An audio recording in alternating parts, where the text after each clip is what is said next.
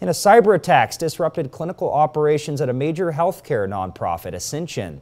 In a statement, Ascension says it detected unusual activity on some of its computer systems yesterday. The network includes 140 hospitals and dozens of senior living facilities in 19 states, including here in Indiana. Ascension says it's notified the authorities and has initiated procedures to ensure patient care won't be impacted.